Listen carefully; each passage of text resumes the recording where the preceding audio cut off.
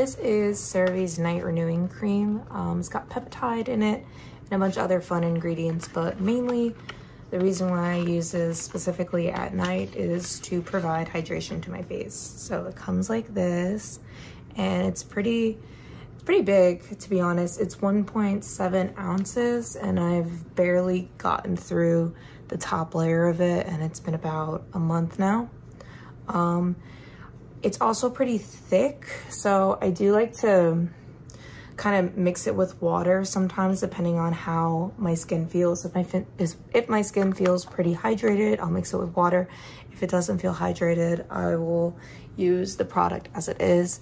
But overall, it's been pretty nice. I am a fan of CeraVe products, uh, specifically because they're not scented with anything and some scents can make my skin flare up and kind of irritate it. Um, I don't feel irritated by CeraVe products and it doesn't feel too heavy on my skin either. Um, so that's reason why I continually use it. But yeah, I really, I am enjoying this one. I'm gonna continue using it. So thank you, CeraVe.